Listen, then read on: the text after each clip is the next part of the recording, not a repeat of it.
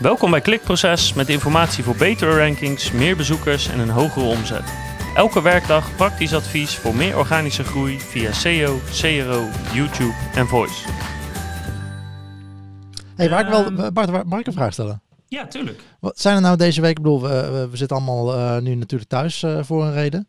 Uh, ja. Zien jullie gekke dingen gebeuren bij klanten op, op, op dat vlak?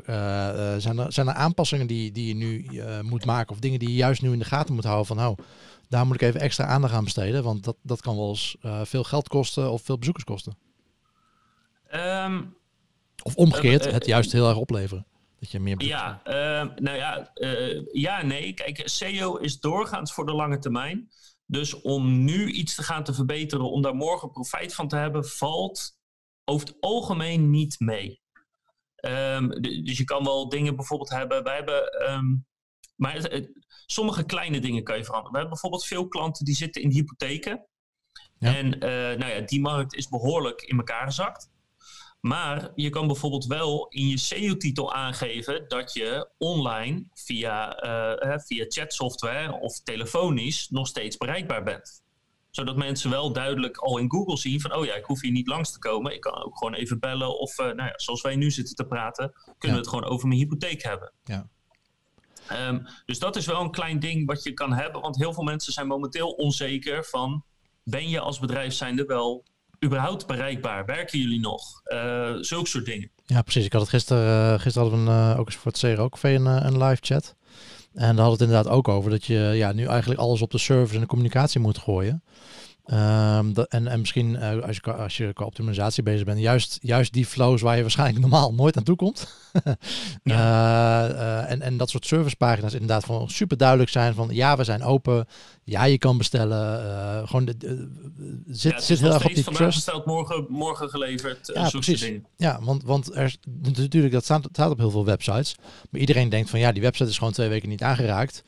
Ik weet niet of dat nog steeds geldt. En Precies, die, die ja. bevestiging, dat is wel waar mensen nu op zitten te wachten. Van ja, we zijn bereikbaar. Uh, en, en, let daarop inderdaad. Dus dat is niet zozeer een, een SEO-dingetje natuurlijk. Uh, nee, maar dat, dat kan voor, wel... mensen, ja, voor bedrijven in de bouw bijvoorbeeld ook. We hebben veel klanten in de bouw, maar we horen het ook gewoon ja. van, van vrienden en, en familie en zo. Van ja, gaat dat nou nog door? Hè? Als iemand, ja. um, weet ik veel, een nieuwe vloer erin komt leggen of komt schilderen of zo, komt die dan nu nog of niet? Ja. of kan ik dat nu nog boeken of niet? Precies. Het antwoord is over het algemeen ja, dat kan. Uh, maar die bevestiging voor mensen is wel uh, belangrijk op dit moment. Ja, heel veel onzekerheid die, die je gewoon moet kunnen wegnemen nu. of, ja. of als het niet kan, ik bedoel, als, als je inderdaad dicht bent, maar zeg dat dan. Want dat zorgt in ieder geval voor dat mensen de communicatie die jij doet blijven vertrouwen.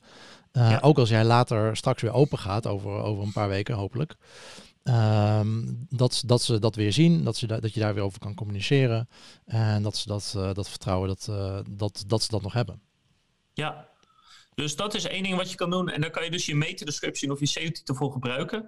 Het andere is waar je voor, uh, in, in bepaalde branches zijn er best wel wat zoekwoorden zeg maar bijgekomen. Dus um, stereotypen, als je bijvoorbeeld in de mondkapjes zit, nou, voorheen zochten waarschijnlijk heel veel mensen gewoon op, op mondkapje of misschien op veilig mondkapje. Maar nu zijn daar, gok ik, vermoed ik, heel veel soorten zoekopdrachten bijgekomen. Dat mensen bijvoorbeeld opeens gaan zoeken van oké, mondkapje voor buiten, mondkapje voor corona, mondkapje voor zorg, voor huisarts, voor ziekenhuizen, zulke dingen. Dus wat wel belangrijk is, is als je, zeker als je in dit geval in de gezondheidsproducten uh, of zo zit, um, dat je goed gaat nadenken over waar kunnen mensen nu meer opzoeken of extra opzoeken, uh, wat ze waarschijnlijk drie weken geleden nog niet deden. Um, dus de, de, de, de paar leveranciers die wij hebben die in de gezondheidszorg uh, zitten, die zien één gewoon uh, best wel serieuze toename in aanvragen, verkeer, zulke dingen. Um, maar die merken gewoon dat er ja, de, de vraag is opeens diverser geworden. Alsof uh, uh, al het zoekverkeer van, van uh, de helft van alle branches weg is gegaan. En dat dat gestopt is in de paar branches die nu floreren momenteel. dus blijf gewoon heel goed nadenken over je zoekwoorden. En het kan best een moeite zijn om nu op zoekwoorden waarvan je denkt dat mensen misschien op zoeken. maak gewoon een klein blogje, 300 woorden, 500 woorden. Zorg dat die geïndexeerd wordt. En dat zou je best wel eens wat, wat bezoekers en sales op kunnen leveren.